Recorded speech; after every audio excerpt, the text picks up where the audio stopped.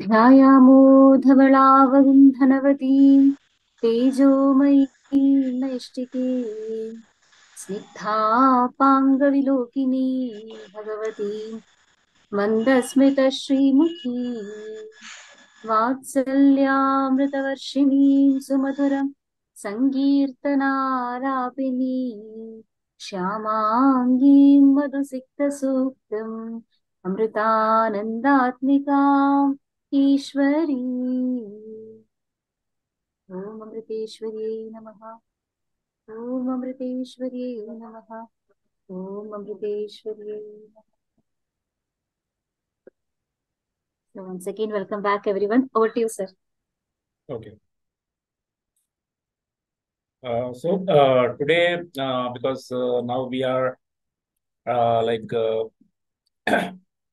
uh, like going through the the final chapters of the uh, the book, the Rivers of Rigveda, and also going through the uh, some of the uh, very rare rivers. Uh, most of these rivers are found uh, only reference only one reference in the Rigveda, and most of them are also part of the Sindhu River network. So uh, Sindhu has a Sindhu River is uh, having a lot of tributaries, and uh, some of the tributaries in the plains we have seen them. Uh, one of the, the one of the main tributaries, the Kubha River or the Kabul River, which is uh, an access gateway into Afghanistan. So the the Rigvedic rishis they have uh, started uh, mentioning the Kubha River starting from the uh, fifth mandala onwards, somewhere in the middle Rigvedic period. You get the mentions, and uh, we, that also means that uh, somewhere somewhere around the middle Rigvedic period onwards, we have uh, uh, the Rigvedic rishi started crossing the Sindhu River, which was a boundary river. We we saw it in yesterday. Uh, Sindhu River was a boundary river for the early Rigvedic people, and its uh, northern course was known as Rasa. So they have crossed that boundary river Sindhu and also explored the western tributaries of Sindhu River, and the largest one of them was the uh, this uh, Gupha River or Kabul River, which uh, helped the Rigvedic people to explore or migrate or settle to eastern Afghanistan, almost the areas uh, which are watered by the Kupha River, the eastern Afghanistan, some plains. Uh, Afghanistan is otherwise a mountainous country. The only plain plains uh, available in Afghanistan is on the banks of the Kupha River, and the Kabul city was uh, grown out of the Kupha River, and it also shares the name of the river. So that's a another Rigvedic feature where the city which is growing, which is grown from a river, like a child grown from a mother's umbilical, uh, like a cord. So like that, the cities are born, both share the same name, the Kupha River and the Kupha city, and that uh, became Kabul River and the Kabul city. So that's uh, all the things we have uh, mentioned in our previous talks. And then there are other rivers which are flowing in the plains, uh, like uh, Kurram River, that is Kurramu, and uh, Mahatnu River, which uh, was flowing earlier but now disappeared, and then Gomati, which is known as Gomal. So those rivers we were uh, familiar with. And then came uh, some other rivers, uh, like which are like into mostly into the mountainous regions. Uh, so the there are like uh, for example one river we have uh, the I mean I am talking about the tributaries of Sindhu which is in the mountainous regions the Anitappa river. There is a Kondia river. Like currently known as Kondia river. It's slightly into the mountains and we noted the river as joining the Sindhu Sindhu river and at a rectangle so like when the Sindhu was flowing the river Sindhu was flowing in as an east to west river along uh, across the mountains and it suddenly uh, turned right angles uh, and going to north to south river. At that corner, the, this Hanitapha comes and join it. Currently, it is known as the Pondia, Pondia River, like that, the current name of the river. So that is somewhat in a mount. It's a mountain river, somewhat into the mountains, higher in the higher in the mountains. So that river we have found. Uh, and uh, uh, so we have uh, like uh, one of the mountain river we are familiar that is the the the Anitapha river. And then uh, like uh, there is single single mentioned rivers. The rivers which are mentioned only once uh, that is the, those rivers are typically uh, the rivers of Sindhu which is uh, in the upper course the upper course of the river so again the name Rasa will be appearing in these in these references because the uh, Sindhu is known as Rasa in the upper courses so uh, those are the rivers that we are going to discuss today uh, so these are the like uh, this is the Sindhu River upper course of the Sindhu River, and it is known as Rasa uh, in, in the upper course. So that we have seen yes, in yesterday's class. And you, this is the Kubha River, which is the largest tributary of Sindhu going into the Afghanistan. So uh, that river we have already shown. And then this is the Anitapha I mentioned. Uh, the Anitapha River. The Kubha River is this one, and that is the uh, the northernmost uh, tributary of Sindhu, which is in the plains. So this is the along the this uh, Charsadda Valley. That is, this is the Charsadda Valley where the Gandhara, Gandhara uh, Janapada or the Gandharva territory exists. So that so it pa passed through this uh, Gandharva territory. That is the the Kabul River is passing through that territory and then joining Sindhu in the plains. Again, this is also a plain. And then uh, you move upwards, and the river is known as Rasa, and the Anitapha comes and joins it. The, the Kondia River here joins uh, exactly at the right spot where the Sindhu River, which is a uh, east to west flowing river up to here.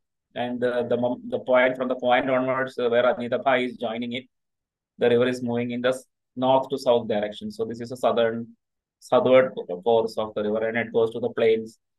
And when it reaches here, the first the Kubha River is joining from the left, the western side, and Sarayu River is joining from the eastern side, and then goes further down, and you see other rivers like uh, uh, Kurram, that is Kurmu River and uh, Gomati, uh, all these rivers joins it in the plains. And then it descends into, into uh, slowly uh, merges into the ocean, Arabic, uh, Arabic, uh, Arabian Sea. So that is the entire course of the river Sindhu.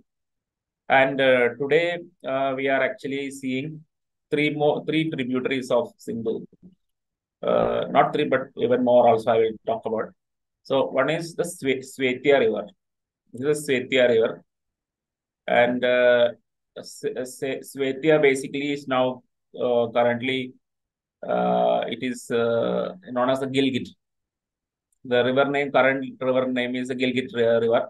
Of course, it is passing through the Gilgit city here. So this is our Gilgit River is today's name, and it is uh, uh, basically a Hunza like uh, the uh, this this particular area. Anybody familiar with the Kashmir uh, uh, the Jammu and Kashmir's uh, map uh, or the the shape of Jammu and Kashmir. This is this all falls into the currently falls into the Pak Pak occupied Kashmir. Of course, uh, currently there is a lot of conflict going on in in this uh, to to make it part of India after they lost all the trust on the Pakistan. So they, they even the people want to join uh, India. So this is the area uh, so this is after the Sindhus in the upper course of Sindhu. This is one of the largest river, the Svetya river. So in Rigveda, it is uh, attested by two names.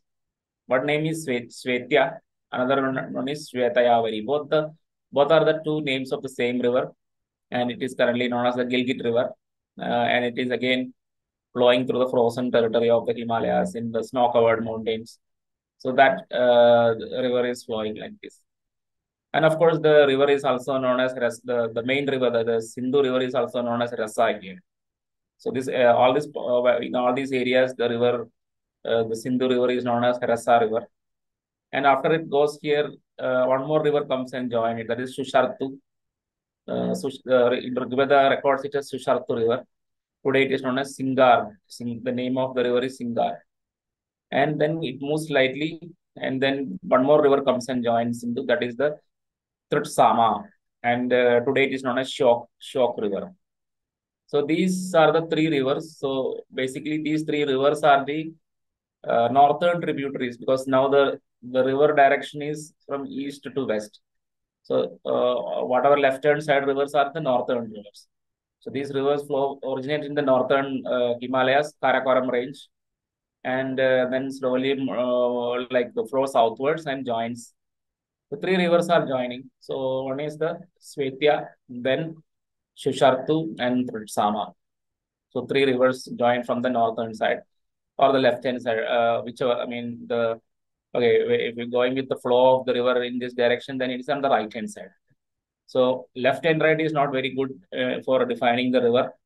Better we call it northern rivers. So, so the rivers are joining from the north and uh, I mean, yeah, coming flowing from the north and joining the Sindhu River. So these three rivers are the uh, upper tributaries or the Himalayan tributaries, some of the main Himalayan tributaries of Sindhu. So these rivers are also mentioned very rarely. I mentioned, for example, the Nadi Sukta. This is a this is a or a verse in the Nadi Sukta.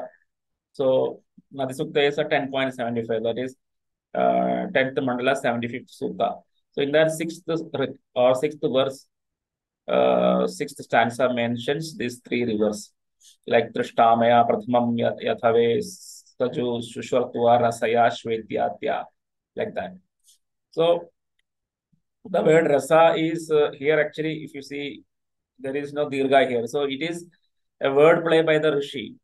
The the uh, the rasa is implied here, rasa river is implied here, but the Rishi is using rasaya, means uh, pleasurable. I mean, it is actually, even though it is indirectly implying the river Rasa, that is uh, the other name of Sindhu.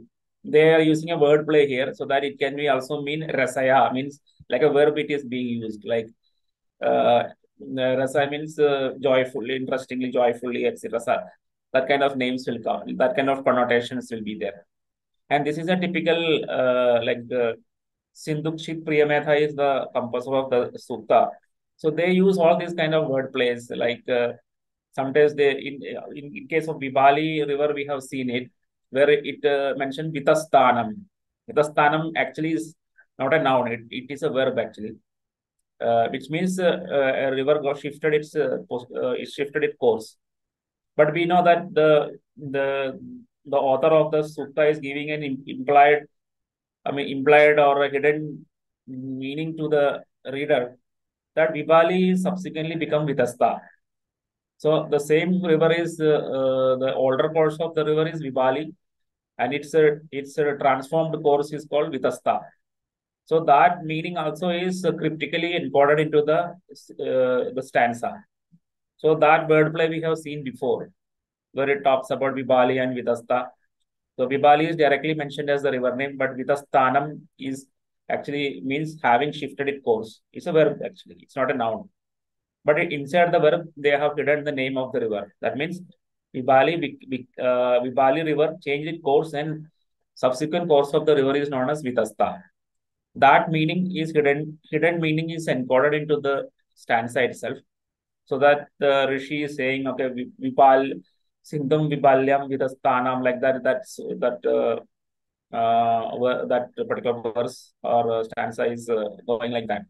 So this is another wordplay wherein the word rasa is encoded, even though it's a verb, uh, the word is encoded into the uh, stanza. So that uh, the geographic, this is a kind of a geographical encoding of the information. So that Tritsama and Shushartu and Shvetya these three rivers are actually flowing into the Rasa river. Rasa is nothing but Sindhu river. So that is what it is uh, showing. And the second stanza you can see Sind, uh, Tvam Sindho Gubhaya Gomatim Krumum Mahatnuas Sharadam Yabir Isaya. Here actually the other tributaries of the, the Ottawa one after it passed uh, into the plains. Then you have Kupha, Gomati, Krumu, Mahatnu, Saratham. There is like uh, whatever rivers we have seen yesterday, where it mentioned about Upha river, that is this river, and then Gomati is mentioned. And Gomati is actually comes a little later than uh, uh, and Mahatnu.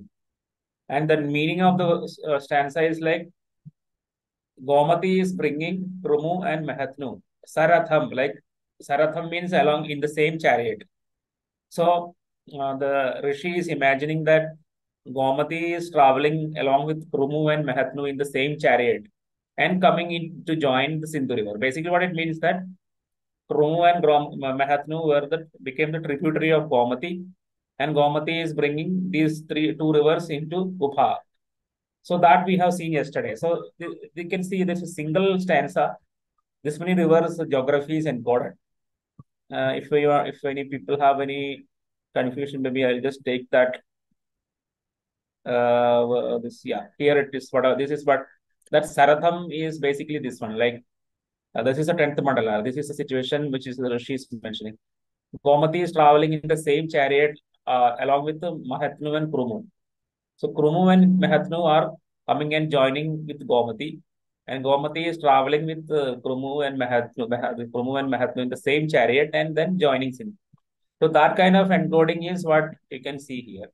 Yesterday we I I, I didn't see the verse, so this uh, so the verse you can see that is how it has been encoded here. So the exact uh, river sequence is completely encoded into this the second pada of the uh, okay this is B basically the second pada of the uh, that uh, stanza. So you have this many number of rivers encoded. So yesterday we have seen this last line, and today actually our focus is on the first line, where it mentioned Tritsama, and then uh, Shushartva, Rasa, and Svetya, like that. And Rasa, uh, you know, some can also interpret it as a tributary, but uh, since uh, we already know Rasa here is uh, directly implying uh, the river Sindhu itself. So, uh, but definitely, like you can see, like if you if you look if you look at that, this entire stretch of the river Sindhu is Rasa. So you can consider like it is talking about Shvetya and Shushartu and Tritsama, and then uh, all of them are flowing into the Rasa river, and then it's flowing like this. Even uh, like uh, see the, the upper course of the river Rasa uh, can also be considered as uh, kind of it's not exactly tributary, but considered as uh, part of the Sindhu river itself. So all that entire river dynamics is completely captured in the first line. And the, these are the kind of rivers that we get. And of course, the current names, I repeat again. So Shvetya is the Shvet Shvetvayavari, both are the same name, same name of the Gilgit river in Rigveda. And uh, Shushartu is the Singar river, the second, uh, second river in the northern side and Tritsama, the Shok, Shyok river. So three rivers in the northern side comes and joining the Sindhu in this particular uh, region. Those, those tributaries are mentioned in the uh, this particular or 1075-6. They are mentioned. And of course, uh, Shvetya means a white white river that we, anyway, it's, it's not very complicated basically because the river is completely snow covered. So the river because it's a if among all the rivers, this is the northernmost river actually. It's completely a snowy uh, white river basically. So even the the valleys of the river will be snow covered. So it will all look like a completely a white colored river.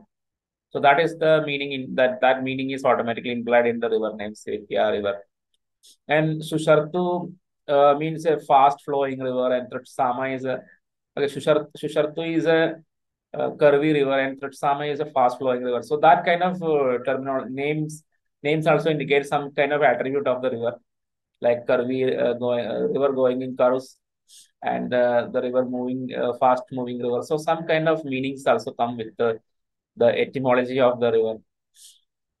that's also very much interesting. So what basically happens is that the Sindhukshit Priyamedha is, I think, a geographer par excellence uh, the Rishi of the Rigveda. And I also mentioned before, 20, around 21 rivers are uh, mentioned in a single sukta, that is Nadi Sukta. And he is the author of that uh, sukta. That is 75th uh, uh, sukta of the 10th mandala. So these are the uh, some of the three rivers that is mentioned in the Nadi Sukta. And these rivers are not mentioned anywhere. It is only found in the Nadi Sukta. so one reason is because the plan plains are more uh, the plain planar uh, the that is Indus plain is the where the things happens a lot uh, and people rarely climb up to the mountains to the Himalayas.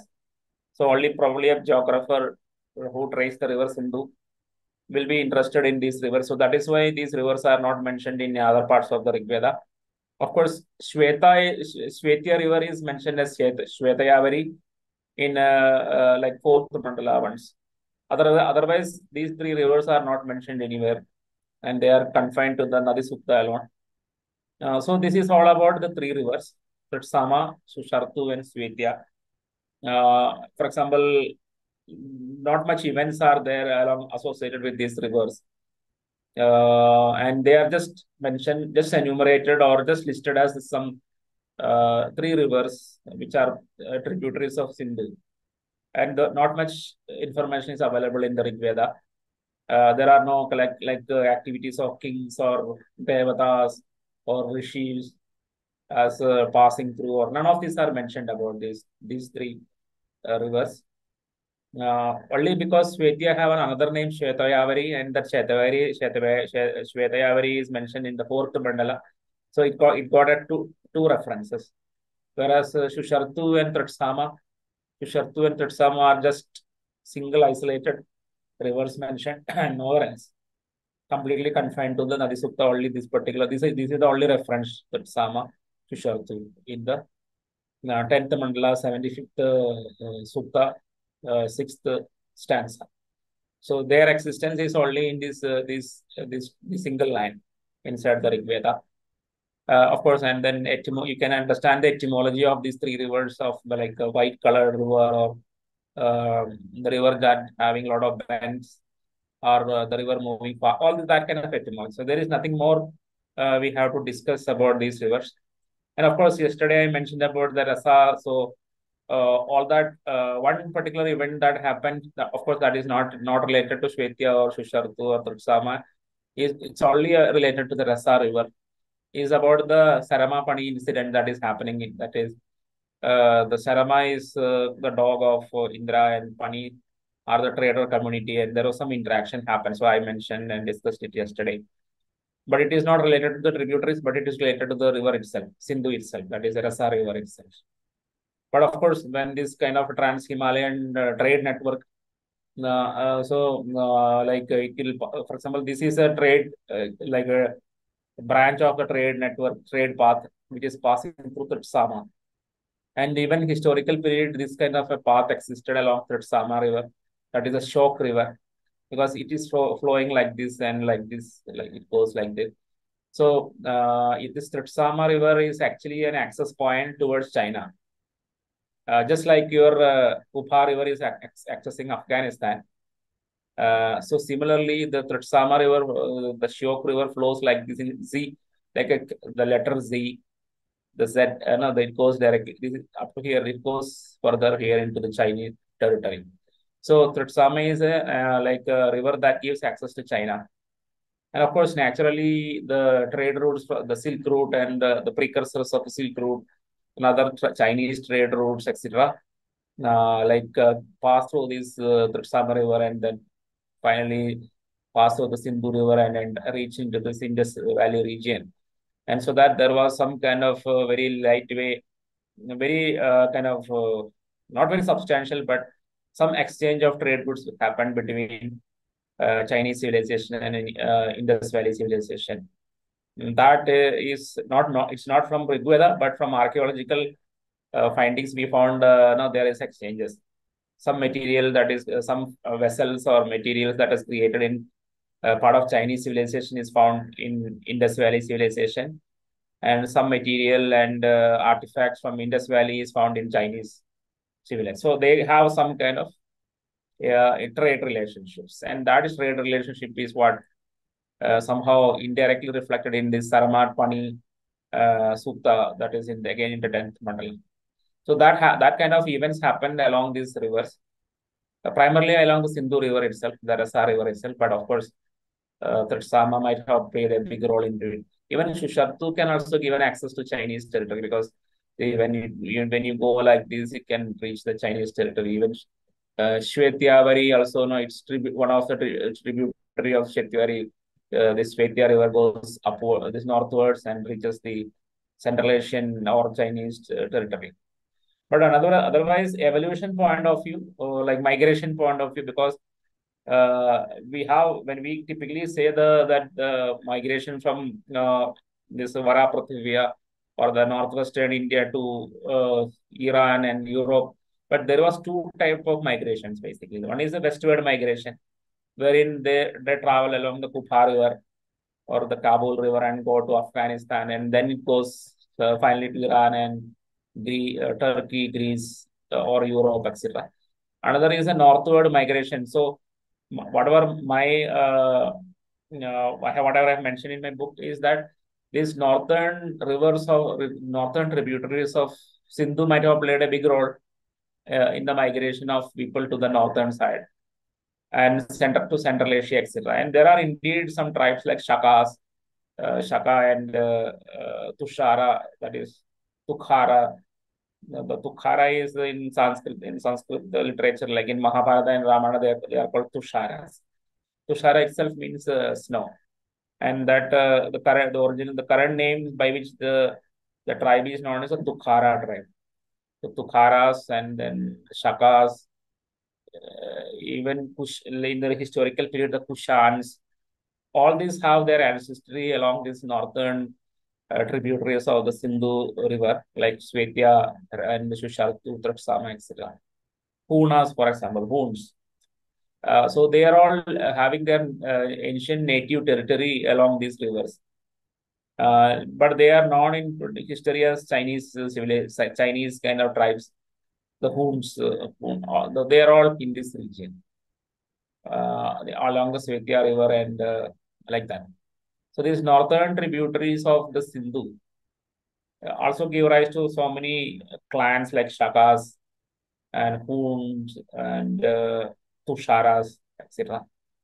And they were also like uh, interacted, like see they typically what the situation is that they migrated from here to the northern regions, etc. And then they came back as invaders.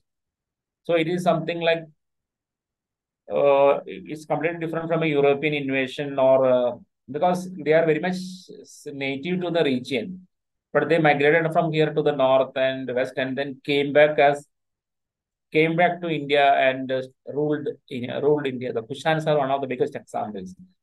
The Kushan uh, Kushan dynasty itself, they are ancient people were living in this region to the north of the Sindhu and then they migrated to China and uh, and then as a Chinese civilization they came back and again uh, ruled uh, Kashmir, for example, Kashmir and some parts of Punjab. So, uh, what kind of what we call what kind of relationship we can give to them because they are semi-native to Bharata. So they are ancient. Their ancient ancestors had some connection with the Bharata, or at least on the north northern uh, shores of Sindhu River and its northern tributaries. And then they migrated uh, northwards or eastwards or westwards and they prospered in that region. And then they came back as rulers and ruled uh, some regions of india. So it's a kind of very strange relationship. But if you look at uh, even the indo-european speaking people also they migrated to the europe at a very ancient period much more ancient than the shakas or hunas uh, or tusharas and they became uh, at least at the language of the, the Indo-European language uh, become pro they became stronger or they prospered in Europe and then they came back as British or uh, uh French or Portuguese kind of people. Of course, they have no memory of uh, being their ancestors being in the same territory, but only they got surprised because of the language similarity. Whatever language they were speaking, the English or Germanic or everything has some connection with Sanskrit. And that is how the study of Indo-European language also started. How how come that they, these people were in Europe and then there is a language in India, the Sanskrit language, and they all look similar. And that is what they started studying all this stuff.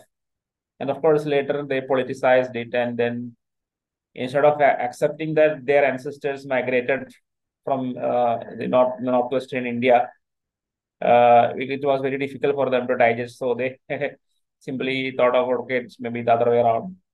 Their ancestors might have come to India, uh, and then that is the reason why we have some Sanskritam here, etc. Psychological problem, actually. That's only I could say. So that that is, in other words, I mean, they should, if they because uh, it's not very difficult for them to accept that the Hunas or the uh, the Shakas uh, or the Tucharas, that is Tukharas, were having a very uh, like close by ancestry, like ancestry very close to India, that they have they have no difficulty to recognize. So it is a larger version of the same kind of problem uh, or same kind of phenomena that is for the Indo-European people. They were at a very much more ancient period. They were living in the northwestern. They means their ancestors were living in the northwestern territories of India, and then before all they forgot about all these things. They migrated to Central Asia or to uh, Iran, and from there they migrated to Europe, Eastern Europe, and then uh, finally to Western Europe and England, everywhere.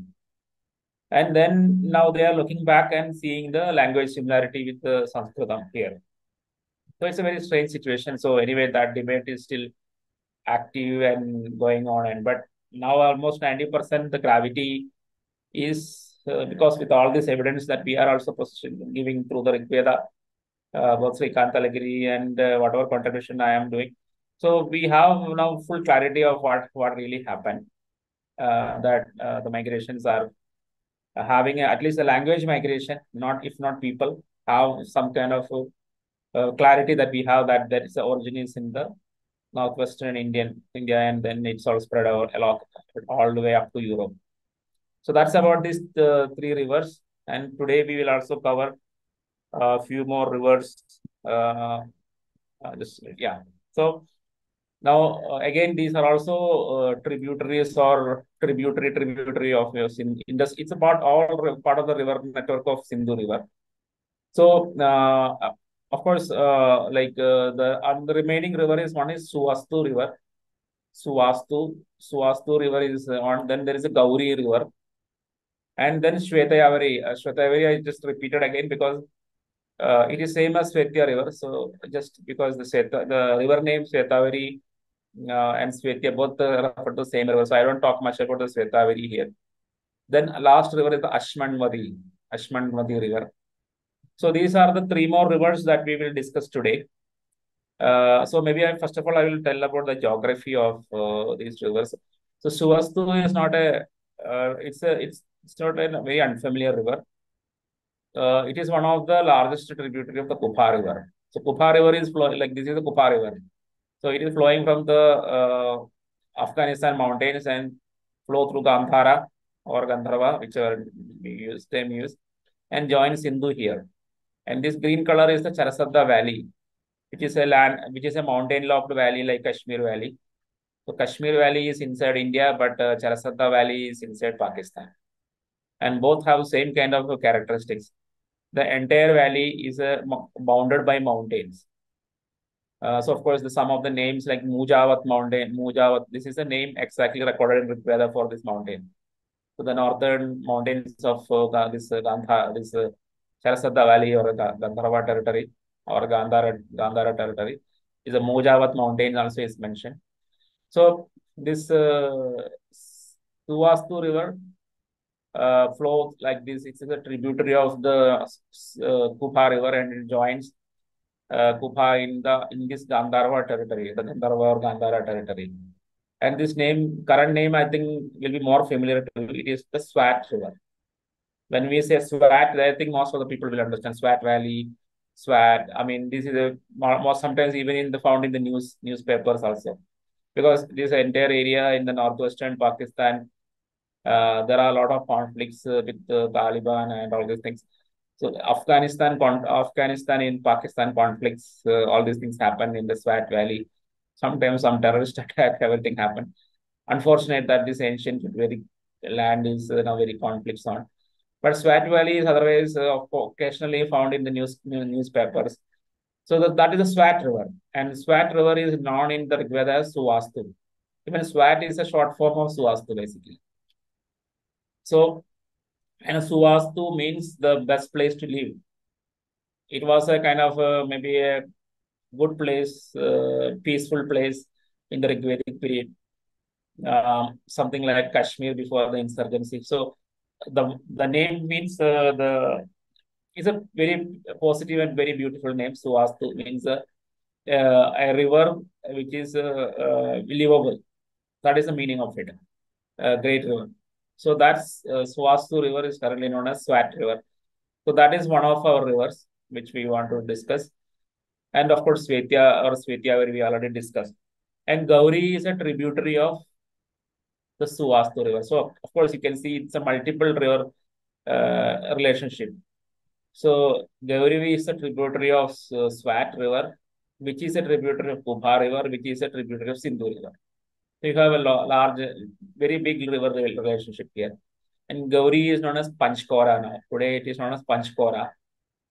So uh, this, uh, Gauri, of course, Gauri means if people may be asking anything to related to goddess uh, Shiva's consort, uh, Parvati or uh, Gauri is a synonym of Parvati, right? So, uh, in fact, one of one of the people who have, who purchased my book has asked me, is Gauri related to Shiva or is this place? This is the place of Bhagavan Shivaji.